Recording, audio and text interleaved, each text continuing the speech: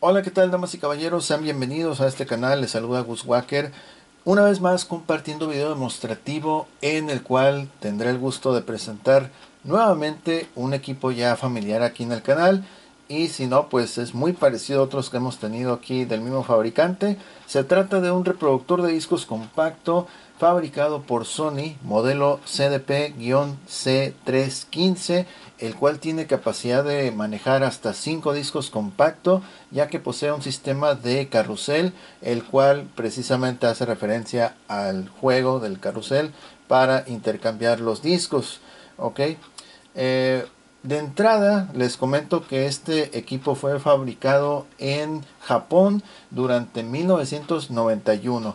Uno de los pocos eh, de Sony ya que posteriormente comenzaron a fabricar equipos en China y en otros países. Pero este es eh, igual, marca japonesa, fabricado 100% en Japón. ¿okay? Al final les vamos a mostrar esa información en la parte posterior del equipo para que vean que efectivamente es cierto. ¿ok? Bueno, eh, estéticamente y físicamente está muy bien, a pesar de sus casi 30 eh, y cuánto, 33, casi 33 años eh, próximos a cumplir. ahorita en este momento tiene 32, pero ya el año que entra prácticamente ya 33 años y la verdad todavía sigue funcionando. ¿ok? Tiene lo que es un sensor aquí para el remoto, pero pues obviamente no tenemos el remoto. Ya es muy difícil que salgan estos equipos con remoto. Entonces, eh, en este video vamos a poner a prueba su capacidad de reproducción. Lo vamos a conectar a un sistema de home theater. Eh, solamente tiene lo que es la salida análoga, no tiene salida de tipo óptico. Ok, lo que sí es ventaja es de que tiene salida para audífonos de un cuarto con su control de nivel de audífonos, el cual vamos a poner a prueba también en el propio Home Theater. Y que más, nos ofrece lo que son modos de reproducción continuo, tanto para los cinco discos como para específicamente un disco. Modo aleatorio igual para todos los discos o para un solo disco. Modo programado. Y que más, ah, bueno, en este modelo no tiene repetición no, no tiene repetición. Ah, eso, eso es prácticamente así a grandes rasgos. Tiene un sistema de fade también. Por aquí un botón de fade.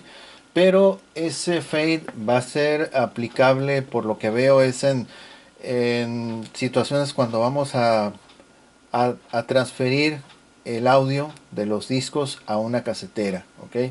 Ya que se pinta ahí en la pantallita un, un cassette. Entonces como para darle pues entradas así suaves, eh, entradas y salidas de fundido eh, a las grabaciones, ok.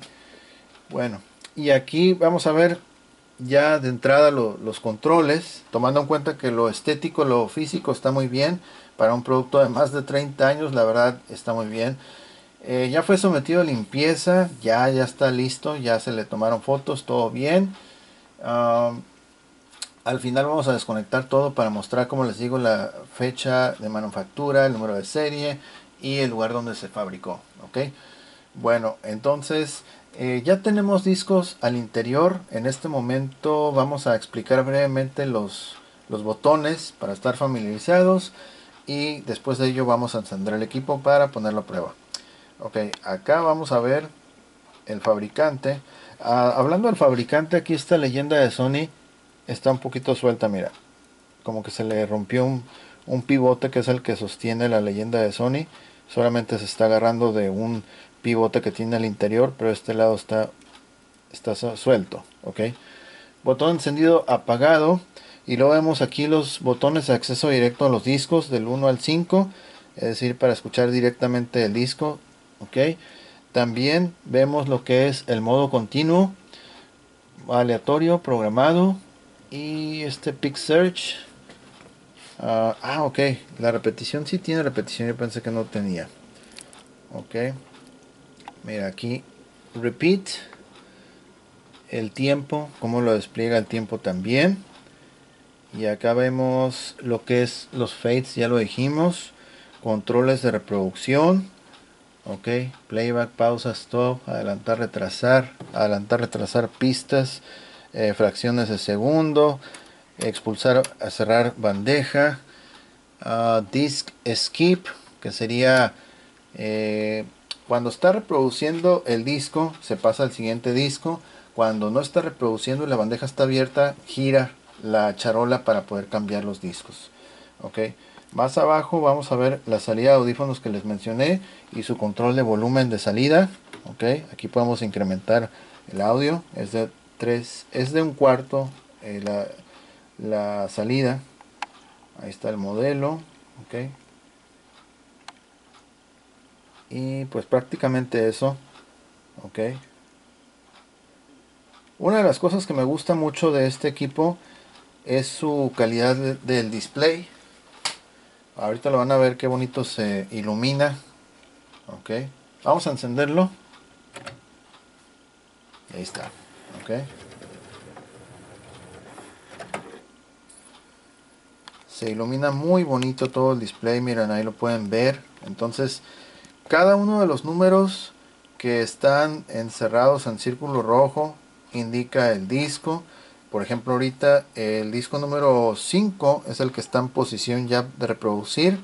Tienes 10 pistas. Aquí vamos a ver cada numerito es una pista ok ahí está el recuadro del cassette y del fade también de los fundidos de entrada y de salida ok eso es como para las personas que quieren hacer grabación del disco hacia cassette. Entonces eh, no vamos a ahondar mucho en ello solamente vamos a poner una prueba de que el fade sí está activándose al menos lo que es la entrada ok y ok bueno vamos ah ok esta leyenda que aparece acá mira por ejemplo all disk yo presiono modo continuo va a decir continuo para un solo disco o todos los discos ok los, las leyendas se, se miran bien, nada más que por la perspectiva de la cámara se puede ver como un poquito de desfase aquí en las letras.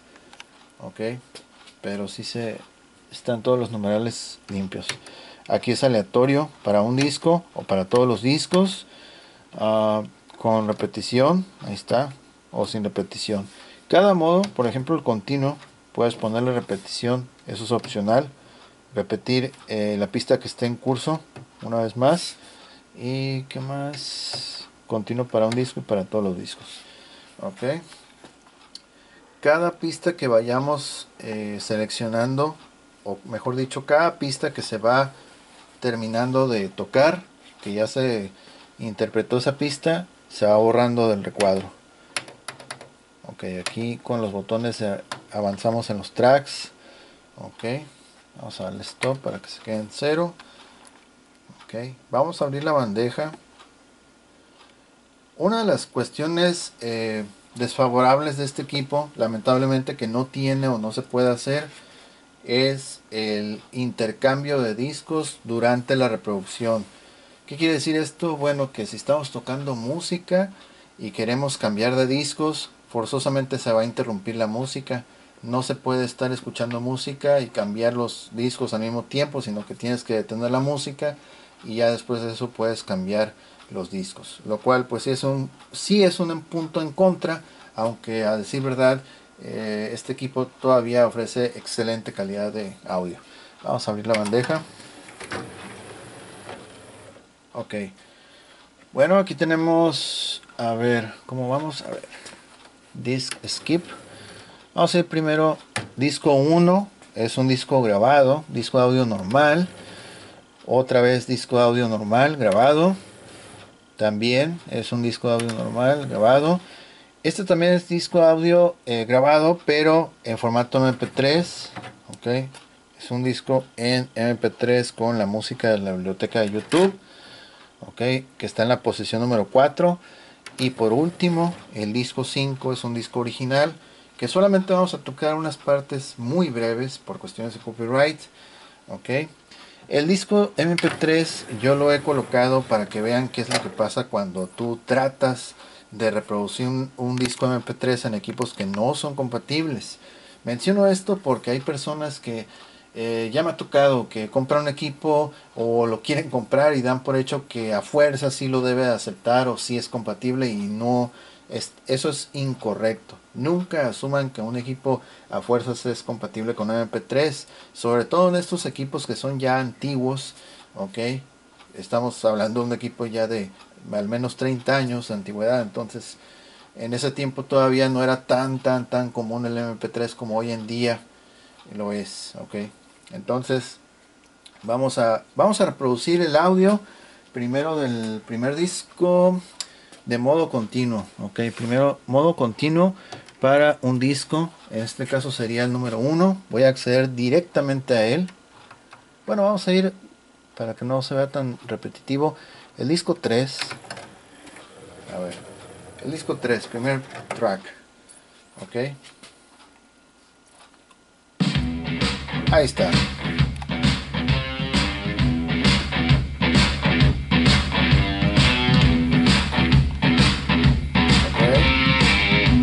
Ahí vemos disco número 3.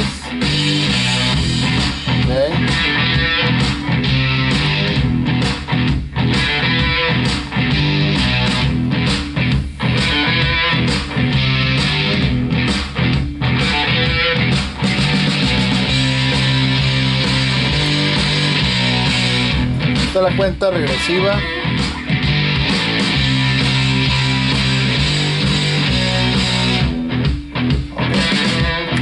ok, por ejemplo ahí vemos cuenta regresiva total del disco, cuenta acumulativa de la pista en curso, cuenta regresiva de la pista en curso.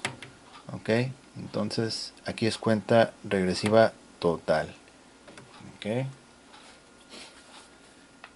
Y bueno, a ver el fade, vamos a ver si lo podemos aplicar. Un ejemplo del fade, mira.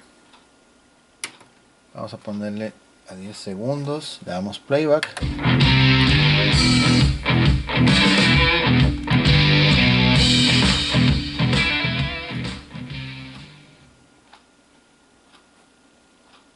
Y ahí está. Se queda pausado, ok. Pero insisto, esto es más que nada para cuestiones de grabación. Por eso aquí en el display aparece la forma del cassette ok. Ahí está ok. Igual al momento de hacer eh, esa cuestión del, del fade te va a aparecer mira vamos a darle stop. Y le ponemos aquí time fade. Ok stop. Más la toma a ver fade. Aquí está cassette de 46 54 cassette de 60 minutos 74 90 minutos etcétera ok. Entonces e incluso está toda la opción de, de ponerle qué tipo de cassette o qué, qué uh, cuánta cantidad de, de, cinta es la que se va a usar no o sea de qué tamaño es el cassette 60, 90 minutos, etcétera, ok. Bueno, eso sería el, el fade. Vamos a darle stop y vamos a seguir, pero en este caso ya ahora voy a aplicar lo que es el, el modo aleatorio shuffle y eso va a ser para el mismo disco que estamos reproduciendo el 3 ok vamos a darle playback y va a escoger entre todos una pista Ahí está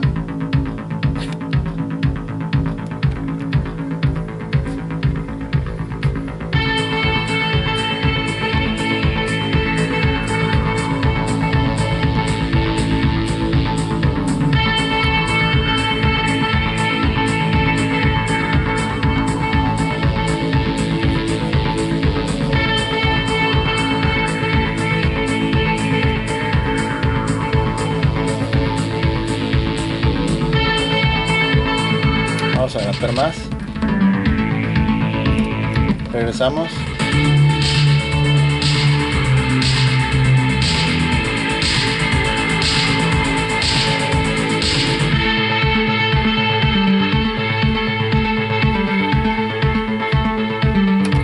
Ok, a escoger otra.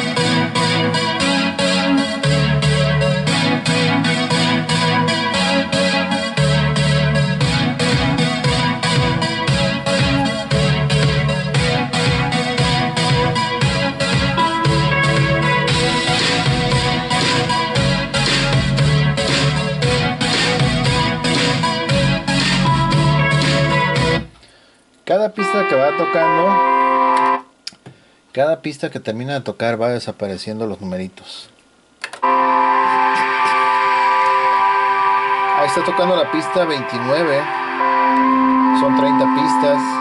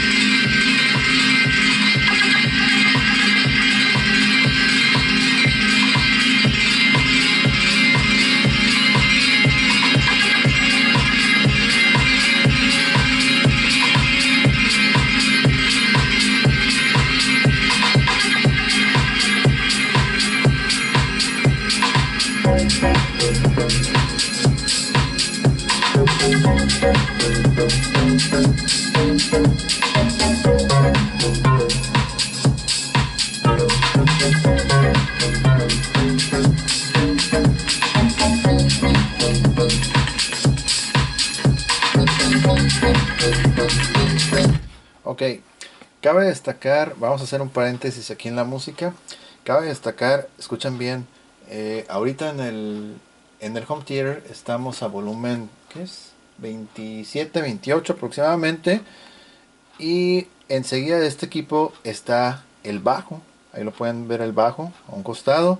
Entonces, eh, hace unos minutos estábamos probando lo que es eh, un reproductor de discos semejante, pero la marca Onkyo con 6 discos, es decir, un disco más que este equipo, pero eh, presentaba una, un detalle que no puede estar cerca de vibraciones o cuestiones como esas, como en este caso el bajo, porque los discos se saltan, ¿ok? Entonces, en este caso, a pesar de no tener la ventaja de poder cambiar discos durante la reproducción, lo que veo es de que no le afecta la vibración precisamente el bajo que está ah, enseguida.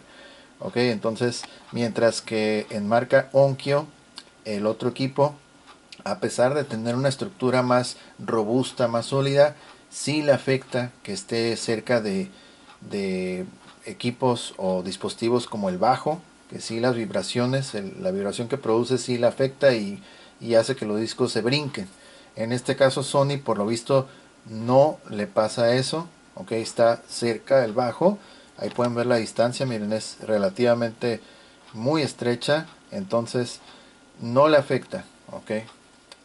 Vamos, seguimos.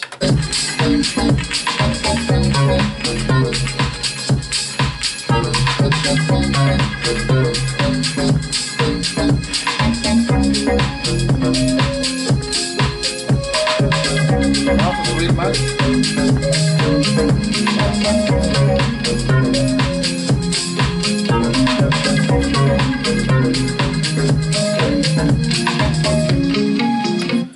Ok, otro.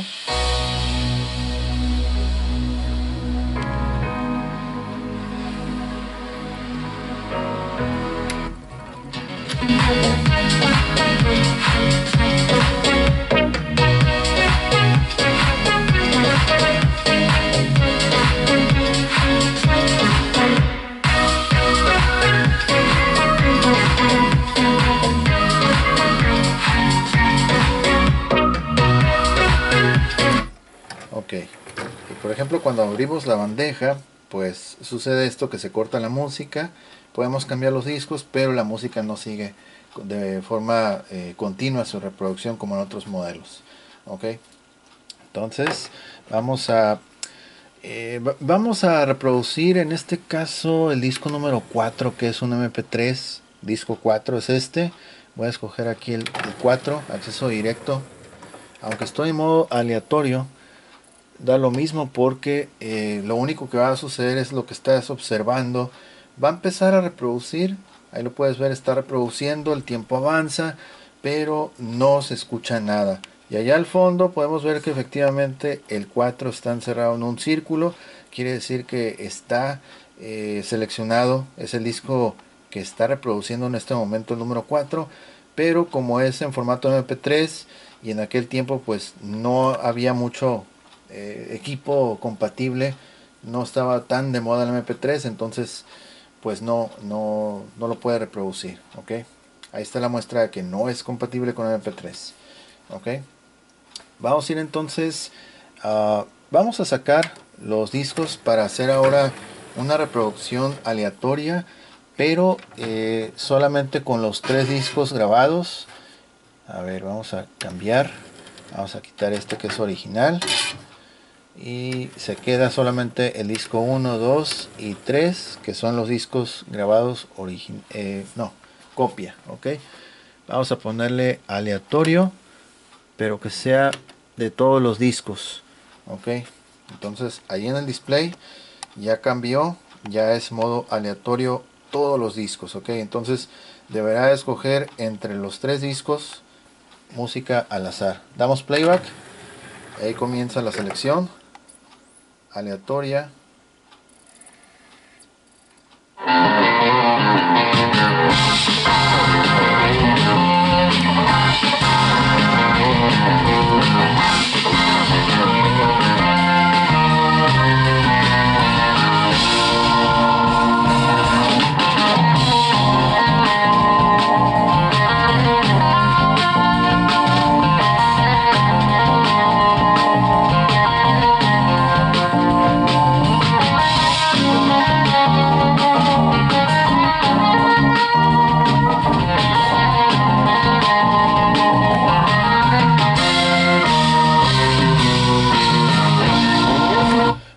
ahorita está tocando del disco número 2, el, el track o pista número 21.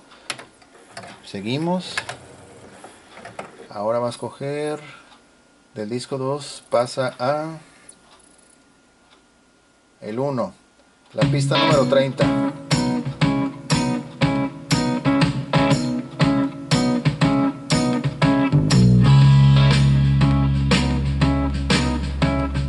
Muy suave que se escucha el bajo.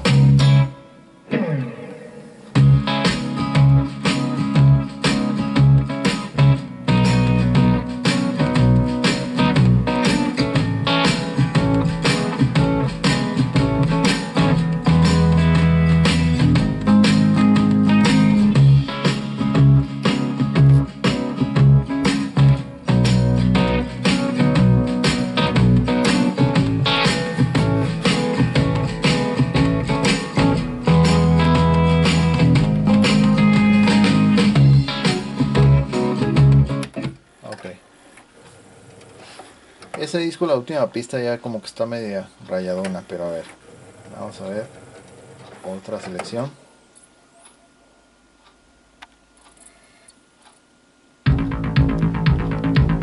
La volví a escoger.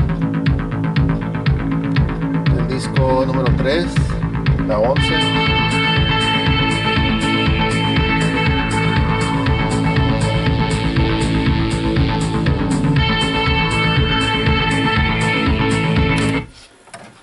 Que escoja entre todos los discos otra vez.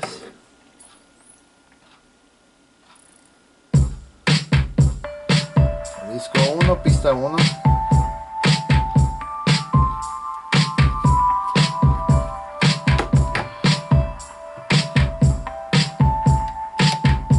Ok, ya quitamos el modo aleatorio, estamos en modo continuo. Vamos a ponerle que repita esa canción. Repetir uno.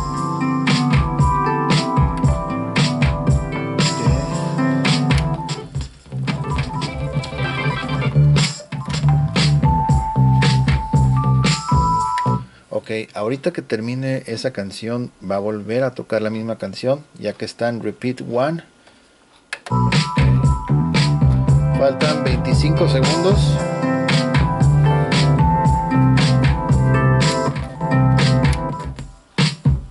está, 5 segundos.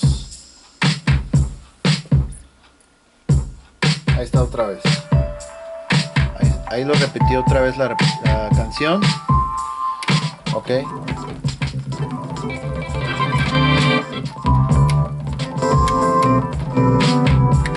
Y por ejemplo, si se queda activada esta función de repeat one, va a estar tocando constantemente una y otra vez esa misma canción.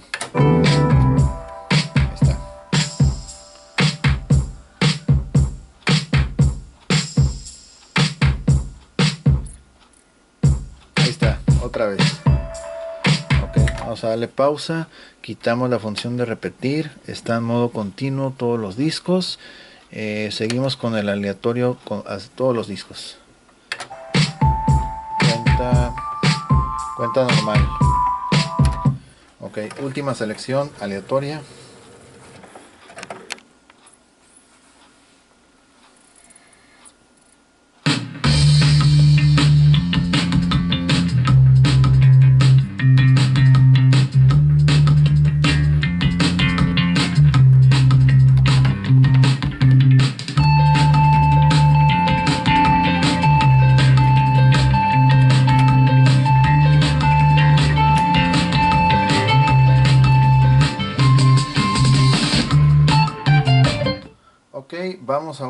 Usar el auxiliar.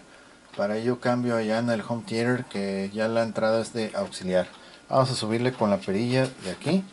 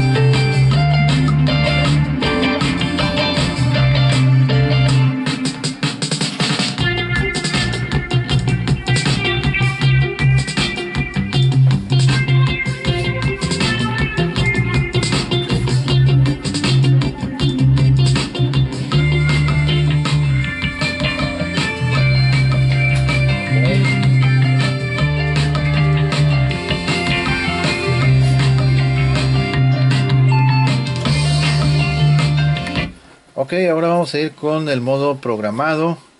Ya vimos stop. Ahora aquí presionamos program y va a aparecer una leyenda. Aquí dice program. Ok, ahorita está en cero. Entonces vamos. Esto es muy fácil. Solamente va a ser eh, de la siguiente forma. Solamente escoger las canciones. Por ejemplo, yo le voy a decir que la primera sea las, la 8. Doy en program Paso 1, la canción 8, ok.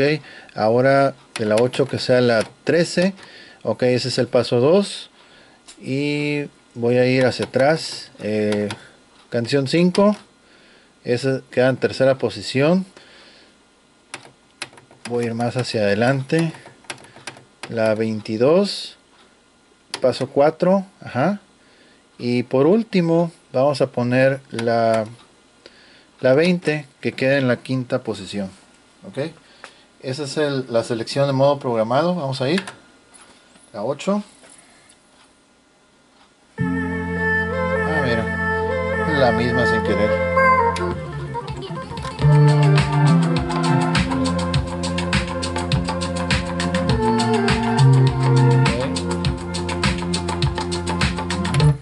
Se pasa a la 13. Ajá.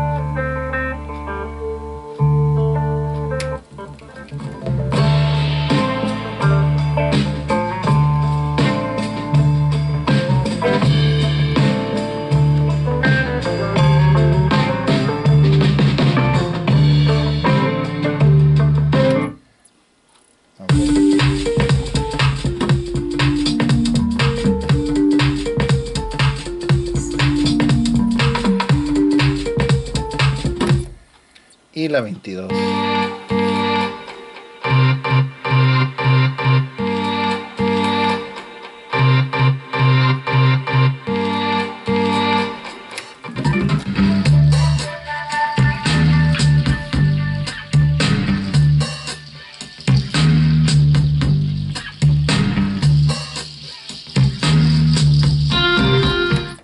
La 20, creo que la 20 es la última.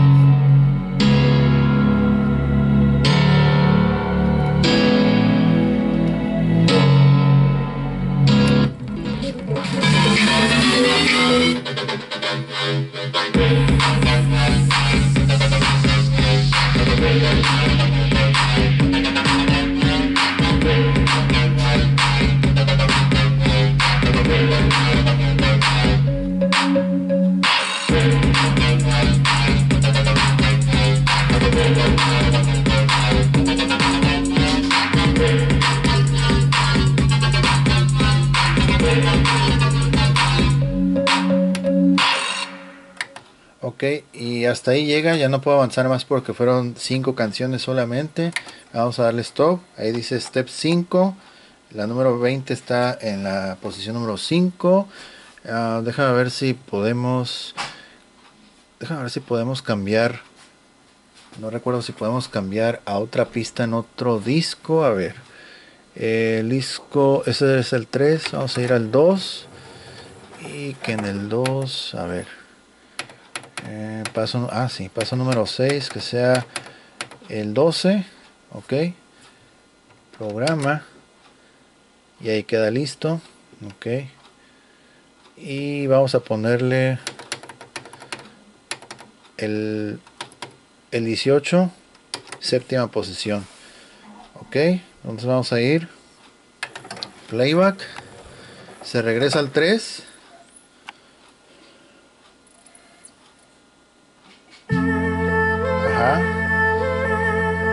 Esa fue la primera que pusimos. Ok, está repitiendo todo el orden. 22, 20.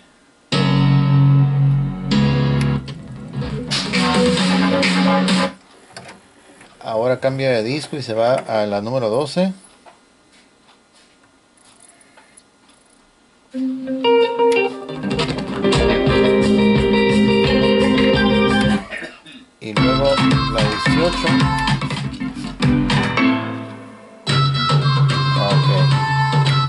Y ahí está. Y para borrar ese programa solamente vas a tener que...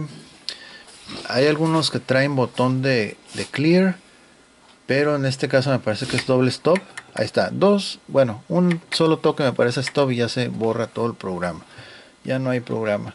Modo continuo para todos los discos y ya está. Todo bien. Entonces Ahí está. Vamos a sacar los discos porque luego se me olvidan removerlos y hay que abrir. Bueno, de todos modos vamos a tener que destapar este equipo. Ahorita les voy a decir por qué exactamente. Ah, ok, vamos a poner este por acá. También skip. Ok, este lo vamos a poner por acá también. Oh, no, falta, falta. falta. Acá están abajo.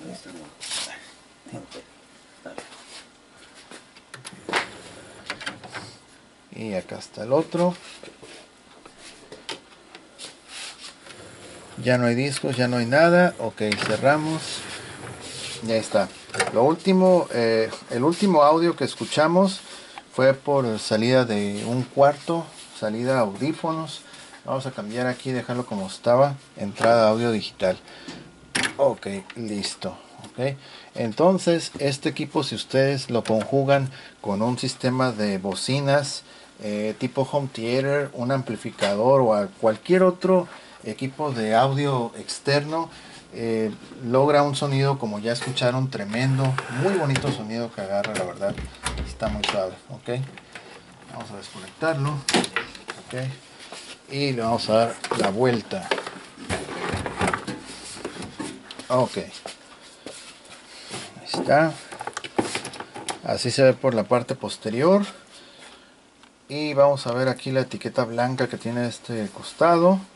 Septiembre de 1991 y aquí está una información de ciudades lugares de Japón. Y la salida de audio análoga que es la única que tiene ok la información del fabricante el modelo que ya les había mencionado número de serie terminación 974 y acá abajo dice hecho 100% en Japón. ¿ok? Marca japonesa fabricada en el mismo país de origen de dicha marca. ¿ok? Entonces ahí lo tienen. Eh, hay que hacer un paréntesis en este, en este video y mencionar lo siguiente. Eh, para, por la fragilidad del, equipo, los sistemas de carrusel de 5 discos preferentemente, okay, preferentemente se envían este, vía DHL, okay, vía DHL, ya que eh, por FedEx es más tardado y aparte es el manejo más rudo. Entonces, por DHL es el tiempo de entrega uno a dos días, el manejo es mejor, aunque de todas formas pues es un, es un sistema frágil. Entonces este video tiene como objetivo que vean que efectivamente el sistema se ha probado al menos aquí con nosotros y pues eh, muchas veces mm, al llegar a su destino pues no soportan el envío, ok, no soportan el envío, entonces por eso se pide que hagan el, envío, que pidan el envío, perdón, eh, disculpen aquí por unos ruidos de repente, ok, pero lo que quiero decir es de que eh, si ustedes eligen con retiro en sucursal, ustedes van a poder elegir DHL o estafeta, ¿ok?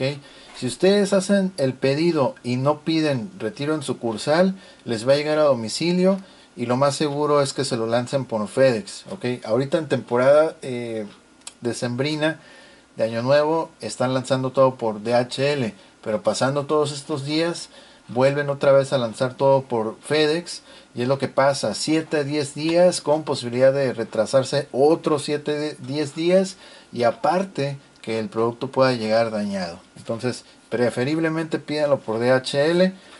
Y por último, por último vamos a mencionar algo muy importante aquí de, del manejo de este equipo. ¿ok? Ah, a ponerlo de esta posición. Aquí. ¿ok?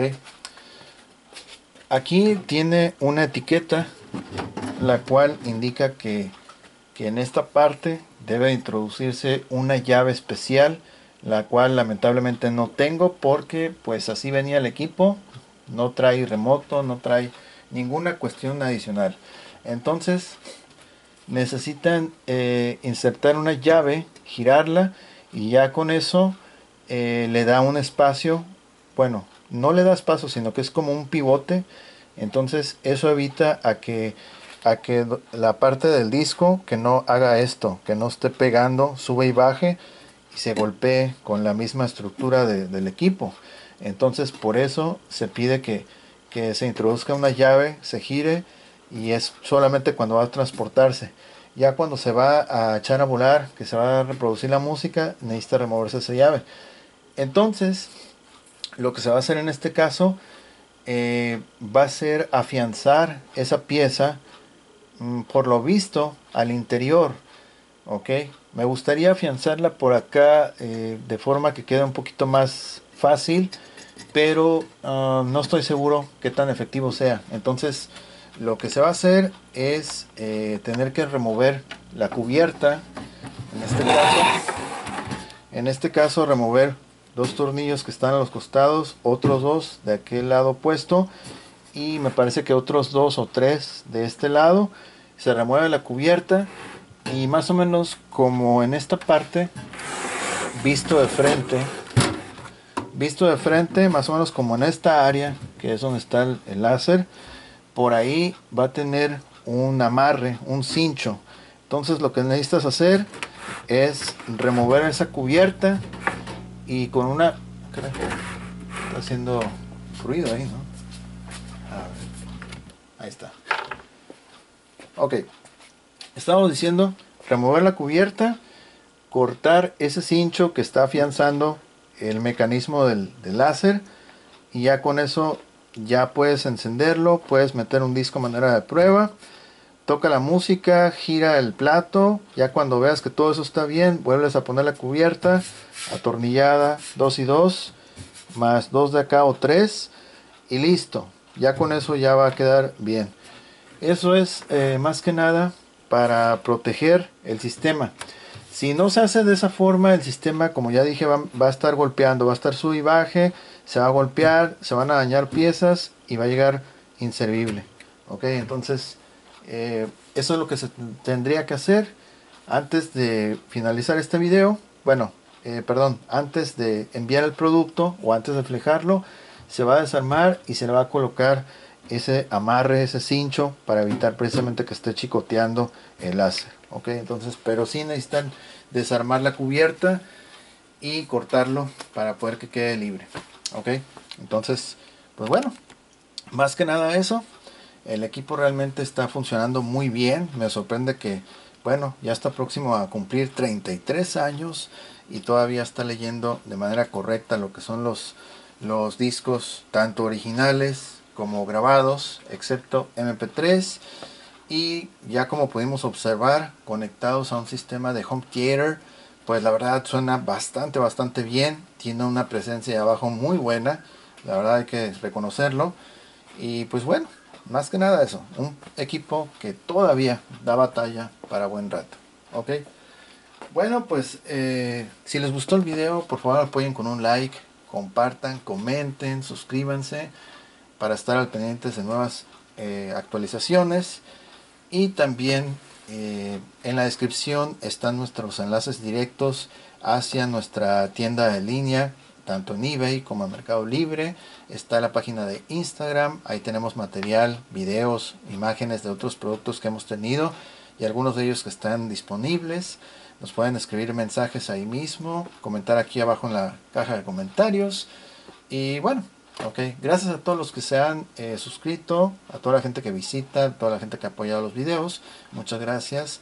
Entonces, pues más que nada eso, les agradezco mucho su atención, que tengan un excelente día, nos vemos, yo soy Wacker, cuídense mucho y que estén muy bien, bye bye.